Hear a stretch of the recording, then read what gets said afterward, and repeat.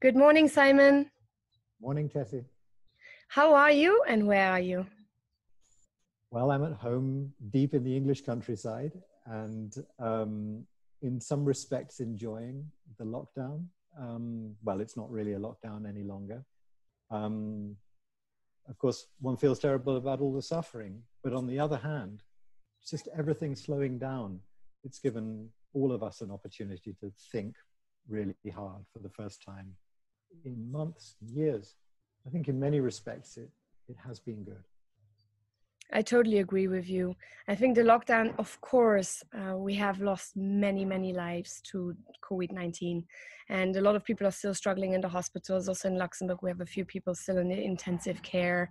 And, um, you know, numbers are going up. So there's kind of like the assumption that there will be a second wave now.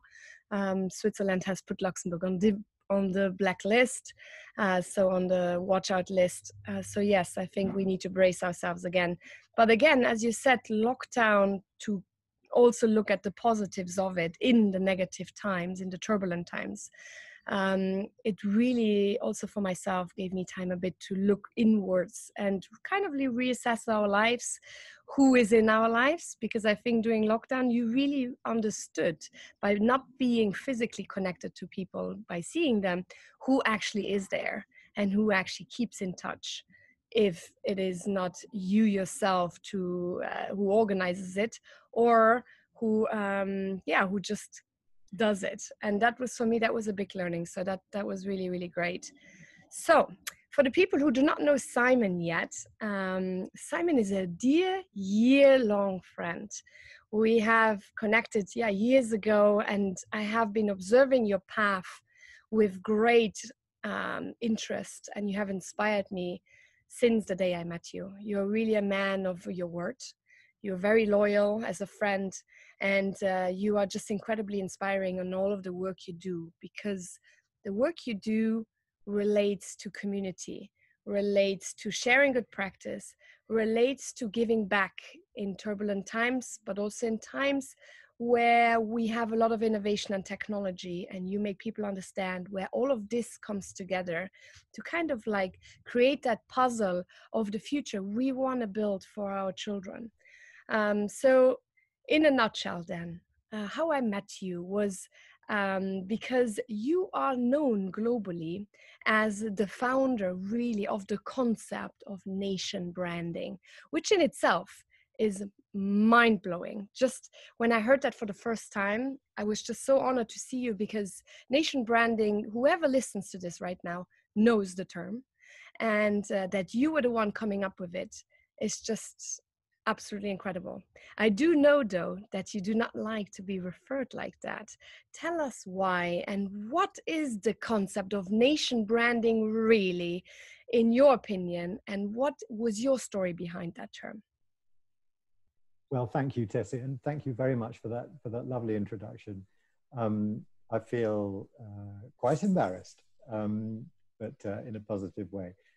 the term nation branding is a, is a term that I've struggled with for nearly 20 years. As a matter of fact, I have to say that the term I think I originally coined back in a, an academic paper in 1998 wasn't nation branding, it was nation brand. And people often say three letters, come on, don't be pedantic, what difference can that make? But it does make a difference because nation brand is just an observation. Countries have got images, and those images are incredibly important to them. If you're a country that has a powerful and positive image, everything is easy and everything is cheap, whether it's getting more tourists, more foreign investment, attracting more talent. Everything is so easy because people think you're wonderful, like Switzerland, for example. If, on the other hand, you have a weak or a negative image, whether it's fair or not, whether it's your fault or not, everything is difficult and everything is expensive. So, really, it sounds very obvious and very simple, but that was all I said. I said countries are in some respects a little bit like products or companies. They have this brand image. And if it's good, they're market leaders. And if they're not, it's a nightmare. But somehow over the years, this idea of nation brand kind of morphed. It turned into nation branding, which is a totally different idea. And an idea which actually I've always contradicted. The idea that if you don't like your country's image, you can somehow fix it, you can manipulate it. You can change the way people think about your country. You can make them think it's wonderful, even if they think it's terrible. You can make it famous, even though it's uh, not known by anybody. And this is just not true. I've been researching this for, for, for, for, years and years and years. I've never seen any evidence that that kind of state level propaganda works at all. Countries can spend as much as they want on advertising campaigns and logos and slogans and all that rubbish. It may get them more tourists, but it doesn't change the image of the country. If a country wants to be admired, it has to become admirable. If it wants people to like it and invest in it and visit it and listen to what it says and trust it, then it has to do things that benefit the community of nations. It's as simple as that. Very interesting. And we did um, talk about that in length, also because I think uh, we talked about my beautiful Luxembourg as well. We have been uh, put on the grey list quite a lot because of our finances, and Luxembourg has been struggling as a country to kind of like uh, bring its nation brand up against the, the the the stereotype that we are a tax haven and all of these other things. So I do understand very much what you're saying. Um, and I think it's really important that countries understand that. Um, I think what you, I guess, what you're saying is that become the leader in what you are the weakest at. Um, what people point fingers at, become the leader in contradicting that in order to make your country really shine, but sustainably, uh, rather than just putting really, as we have the term in the media uh, space, putting a red lipstick on a pig. So yeah. moving- I mean, that's, that's part of it, but, but the main thing of all, and this is what my research has showed me over the years, is don't brag about how wonderful you are because nobody cares, right? If I don't live in Luxembourg, I don't care how wonderful life is for people who live in Luxembourg because it doesn't affect me. What I care about is what you do as Luxembourg or any other country for the world that I live in. So that's the big discovery the discovery that actually people don't care about how successful they are, uh, a country is. They care about what it contributes to the rest of humanity and the rest of the planet outside its own borders. So, why should I feel glad that Luxembourg exists? I don't want to hear you telling me how wonderful you are. I don't want to see you spending taxpayers' money on, on state propaganda telling me that you've got fabulous castles or a fabulous history, because it doesn't affect me. It doesn't benefit me. What I want to know is what are you doing about climate change? What are you doing about migration? What are you doing about corruption and transparency? What are you doing about this and about that? And don't tell me, do it. Exactly. No, I, I, I totally am with you, and you know that. So, um, moving on to the next topic then. So, moving on to the next topic then. Um, one really incredible project you're doing as well is called the Global Vote tell us a bit about it because I think we're coming, yeah, the US elections are coming up now. Why is the global vote so important in such an interconnected world we're living in? Well, the global vote uh, was something I launched in, was it, 2016. And it's, a, it's an online platform that lets people anywhere in the world vote on the elections of other people's countries. And it sounds like a kind of stupid idea. Why would you be interested in who becomes the president or the prime minister of another country? Well, if it's the president of the United States, you might be interested, even if you live in Germany or Kenya or anywhere else. Mm-hmm. And even if it's the president of Germany or Kenya, you might well be interested because it's going to have an effect on your life. And the idea behind the global vote is that today we live in this super connected, super globalized world. And everything that any country does is going to affect everybody else sooner or later. There's no such thing as national boundaries anymore. Mm-hmm. Everything is connected, whether we like it or not. And so the person and people who end up running a country will have an impact on our lives, and so will every vote we take. I mean, Brexit, for example. Only British people were allowed to vote for the UK leaving the European Union, but the decision has affected and will continue to affect everybody in the European Union and beyond. So, in a funny kind of way, that's not very democratic if you think about it. At a global level, it's completely undemocratic. Mm-hmm. Now, obviously, I'm not suggesting that everybody in the world should vote for the next president of the USA. And I know that literally most countries make that illegal. There are very, very stringent tests on citizenship. You're only allowed to vote if you're a citizen and all the rest of it.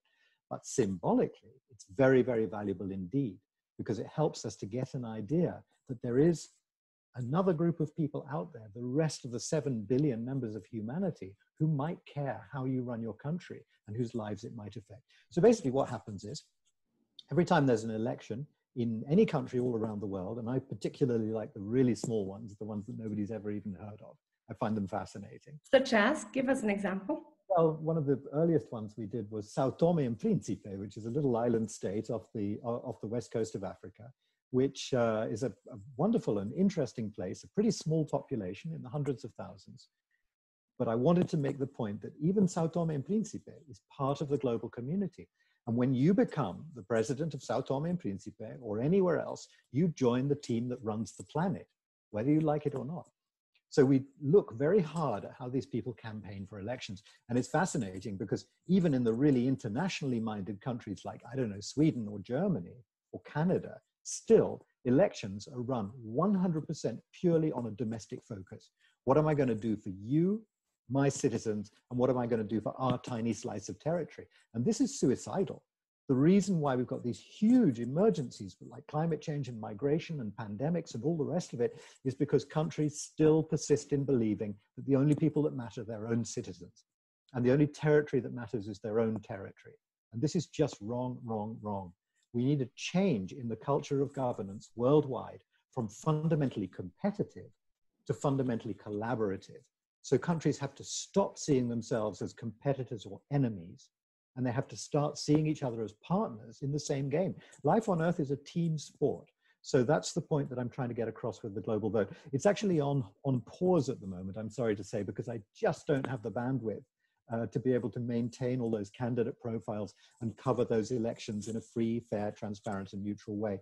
But I really want to get it started again, and I'm, I'm looking for help at the moment to get that going because I'd love to run the next US presidential election and see what happens. It was one of the first ones we did uh, when, I, when I first launched the platform. That's amazing. So if you're listening, you're working in academia, you are even a student, uh, looking for something really exciting, um, you're professional, whatever your profile is, you think, I want to be part of this, do get in touch. I put you in touch with Simon or get straight away in touch with Simon. I put all of his details below this video because I think it's really important that we get a global perspective on the leaders that lead, that should be leading the future. So, moving on, then, there's just so many things and such little time. You keep inspiring me. And just a few days ago, you sent me exclusively your new book, which will be released to the public in August. Tell us about your book. Why is it important? And what do you want to share to the world with your book? Well, the book is called The Good Country Equation, um, subtitled How We Can Repair the World in One Generation. So that's a pretty ambitious subtitle. Mm-hmm. But I honestly believe that it's not all that difficult. And one of the things I say in the book is that I love, I revere simplicity. Not the simplicity that comes from only seeing the surface of things, but the simplicity that comes from seeing through the surface of things to the simple facts underneath. So this book is important to me because it's the first book I've written in five years. And so everything, pretty much everything I've ever thought about the whole idea of what is a good country, ever since I launched the first edition of the Good Country Index uh, back in 2014, is in this book. Now, there are a lot of books out there about the state of the world, you know, just moaning about how terrible things are. I actually disagree. Uh, yeah, things are terrible, they always are, but things are also great, and they always are. I'm super optimistic at the moment about the future of the planet and the future of humanity. I think we're starting to get it. The media tends to focus on the negative because it sells more advertising, but actually the new generations coming up who are naturally instinctively global in their mindset i don't think they're going to make the same mistakes that we made i really really don't so anyway every time a book comes out moaning about the state of the world or with a new recipe about how to fix our global problems, I buy it because I have to. This is my subject. And I start reading it very enthusiastically. And I get to about page 13 and then I start skipping. And then I get page to page 40 and I start skipping whole chapters and I never finish them. And it's not because they're not good books. They're great books. They're written by authors who really know their stuff. And I'm lost with admiration for how well they understand politics and economics and trade and sociology. But I just can't read them because they're textbooks. They're written in black and white. And you don't want to go back to school at our age and read a textbook again. You want something that's fascinating. So I listened to my friends, and everybody said to me, Look, Simon, you've advised the presidents and prime ministers and monarchs of 56 countries. Every time you come back from one of these places, you have some crazy news story to tell about the time you the, time, the time you didn't spill the soup on Vladimir Putin's trousers, and so on and so on and so on, and the time you were locked in a lavatory in a royal palace in Bhutan. And these weird things always happen. And my friends have been saying to me for years, just write an autobiography, just tell the story of all those extraordinary places. And so I came up with a compromise. I said, okay, I'll write the story of the travels and the places and the leaders, and I'll tell everything and even the funny stories. But I also want to explain how, at the same time, I started coming up with the idea of the good country and figuring out what's really wrong with the world and how we really can fix it. So, what it is, it reads more like a novel. You know, it's got a story, it's got characters, it's funny, it's tragic, but it also, I hope, is going to make people think about really where have we gone wrong and really how can we go right in the future. That is amazing. Well, I make sure that we put the link below as well for the book once it's out because I think it is important for everyone to read this. But also at the same time, hey, it's summer. The book comes out in August. It's a perfect beach reading while also actually learning what is happening out there. And if you ever, you know, listening now, if you want to get to know leaders a little bit different through the eye of Simon, do not miss it because I am sure it promises to be something else. That's for sure. So, Simon, we're running out of time. Tell me what next? And also in these turbulent times, you are just always so inspirational and you're always so positive. Maybe that is why I'm so drawn to you because you always smile when I see you. When we're driving around with your Tesla, it's just, we're always having a good time, whatever we're doing. So tell us, what makes Simon Simon briefly, and what can you share with us? A glimpse of that positivity. How do you hold on to that continuously, and how can we grasp some sparkles of it? I don't know. I have a I have a saying which I often repeat, which is, okay, I have to because of my work. I deal every day with big scary issues, and the thing I always say is just because these things are serious doesn't mean they have to be boring. There is no obligation to go around with a long face.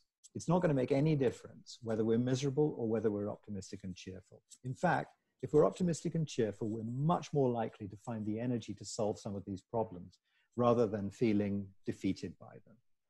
But I also think that it's partly to do with the fact that I'm living in the area and I'm doing the job that I love. Ever since I was tiny, I was just fascinated by other countries.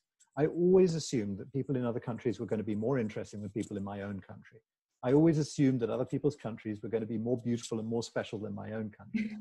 and so, since the age of about two, I've just been drawn uh, to cultural difference. And it's basically because I love people and I love the way that they're all so different. I love the way that we're all so completely hopeless, and yet at the same time, we have a kind of spark of genius in us. And I can't get enough of it. So the work that I do and the stuff that I write about is a subject that for me is the best subject in the world. It's people and the world they live in and the fact that although we have our flaws, our flaws are what make us interesting. Some of us are really horrible and that makes us interesting as well. How do we deal with that? How do we work together as a team instead of just fighting? That's what fascinates me and it makes me happy. And I'm really, really lucky because I work in an area and I do a job that I absolutely love. And people who can say that they're, they're really lucky. Beautiful. So, what you're saying in a nutshell is do what you love and you don't work a day in your life. Yeah, absolutely right. Doesn't feel like work at all. Well, thank you, Simon. I make sure I share all of these things we have discussed in the YouTube video in the copy below. I'm looking forward to talk to you more offline. Um, to everyone else, if you do feel what Simon was talking about, if you do want to help him, if you want to be part of his team, whatever it is that inspires you to make this world a better place, if you have questions, do get in touch um, because only through communication and collaboration can this world become a better place. And Simon is definitely the man for that. So thank you so much, Simon, for your time. I really appreciate it in your busy schedule. I'm looking forward to read your book now. and uh, we'll definitely share with you with you. And uh, until then, there it is. Exactly. I am so excited to read it. so um, thank you so much, and uh, big hugs to your family. Stay safe and healthy, and we do keep in touch offline. And I hope to see you soon in person. Thanks, Tessy. Thank you so much.